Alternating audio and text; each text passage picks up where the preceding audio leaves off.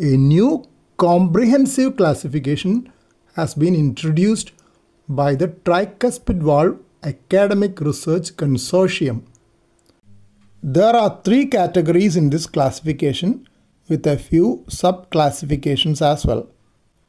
Secondary TR is divided into atrial secondary tricuspid regurgitation and ventricular secondary tricuspid regurgitation, just as in the case of mitral regurgitation. TR associated with cardiac implantable electronic device CIED leads has been divided into type A where the lead is causing TR and type B in which CIED lead is just an incidental finding.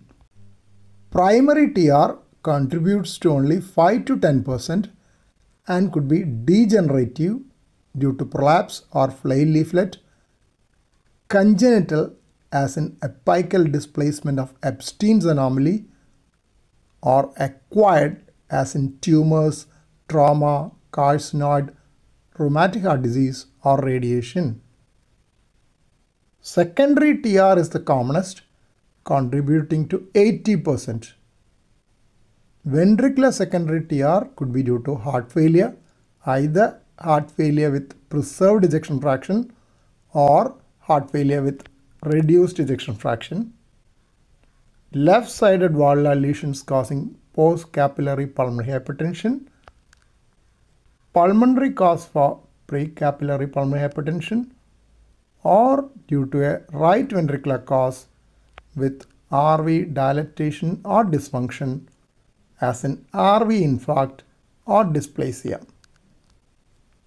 Atrial secondary TR is due to right atrial or tricuspid annular dilatation which could be related to age, atrial fibrillation or heart failure with preserved ejection fraction.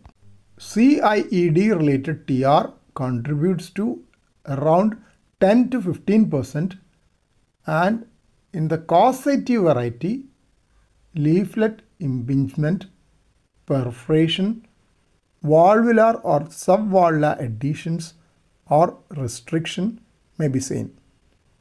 In the incidental variety, the CIED lead is present without interfering the tricuspid valve apparatus.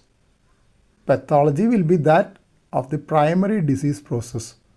So it will be one of the previous classes.